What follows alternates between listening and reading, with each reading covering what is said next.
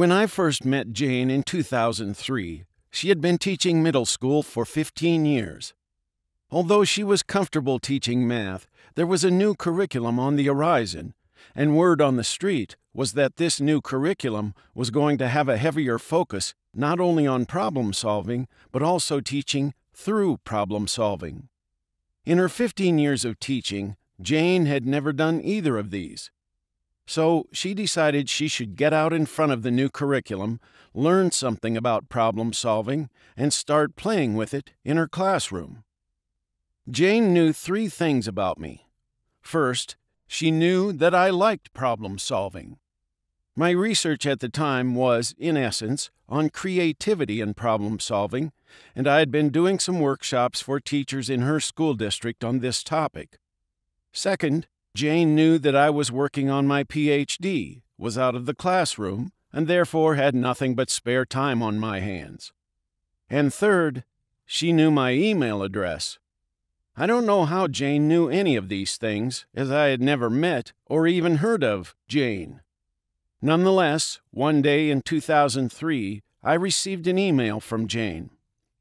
Jane, Hi, I'm interested in implementing problem solving in my grade 7 8 mathematics classroom.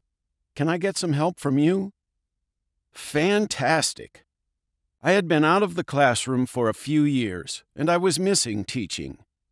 To me, this was an opportunity to not only get back into the classroom, but also do some problem solving with students. Peter, I'd love to help. Why don't we have a meeting to discuss it? I can come to school tomorrow. What room are you in, and what time does school end?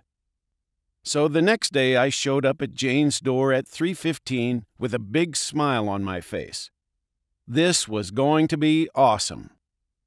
Jane, who had clearly worked with researchers before, was not as enthusiastic.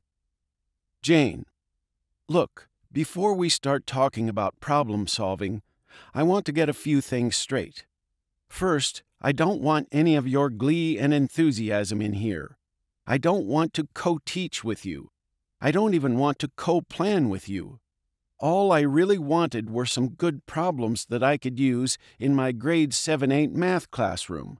I don't even know why we are having this meeting. This was not what I had been expecting. In fact, it was about as far from what I had been expecting as possible. But I would not be deterred and after 15 minutes of discussion, we arrived at a tense agreement of sorts. I would give Jane good problems to try, and she, in return, would allow me to watch her implement them. But she had rules. Jane, first, you have to stay in that desk, pointing at a desk in the back corner of the room. You are not allowed to talk to the students, and you are definitely not allowed to talk to me. And so it was that we began our collaboration, of sorts. The first problem I gave Jane came from Lewis Carroll and was a problem I had used many times with my grade 8s and 9s. I knew that this was a good problem. The context was engaging, the answer was non trivial, and it didn't require any sophisticated mathematics to solve. And my students, when I had used it with them, had enjoyed arguing over the various answers they arrived at. If six cats can kill six rats in six minutes, how many will be needed to kill 100 rats in 50 minutes? Lewis Carroll, 1880. So the next morning I sat in Jane's class and watched her write this problem up on the board for her students to solve. Before I tell you what happened next, let me review a few details. As mentioned, Jane had been teaching for 15 years, and until this day had never used problem solving in her classroom. Her students sat in desks that were in rows with some of the rows put together to make student pairs. See Figure I1. Students in a traditional classroom work on a task which can be found on the companion website. The students did not have assigned seats and sat and worked with who they wanted. A typical lesson, Jane had told me, began with her going over homework.